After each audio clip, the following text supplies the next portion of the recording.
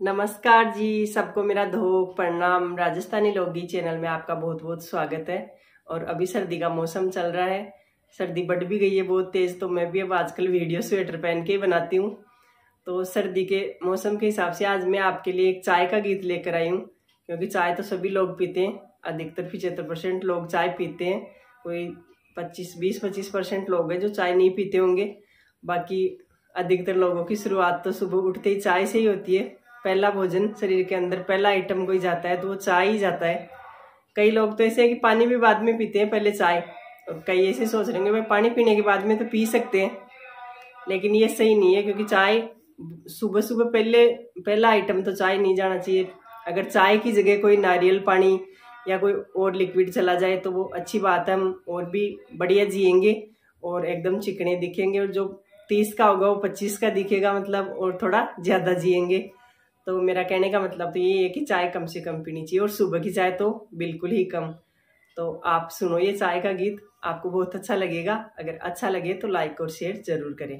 थे तो चाय बनाओ, मारी भैऊ मारो दुख माथोर थे चाय बनाओ मारी भैऊ मारो दुख रो माथो रे काकी चाय बनाऊ मारा सासू जी मारो चूख गो पाडो रे क्या की चाय बनाऊ मारा सासू जी मारो चूख गो पाडो रे थान।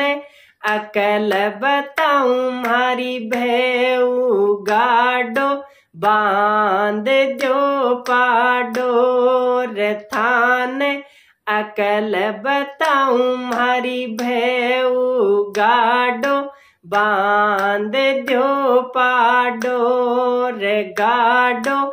बान्दे दो पाडो र ऊण्डो रोपो खूटो र गाडो बान्दे दोपाडो र ऊण्डो रोपो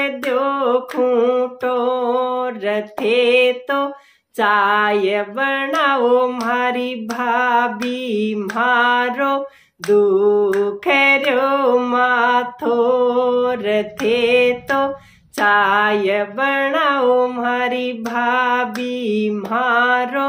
दुख रो माथो रे क्या की? चाय बनाऊ मारा बाई जी मारो। चूख गो पाडो रे क्या की?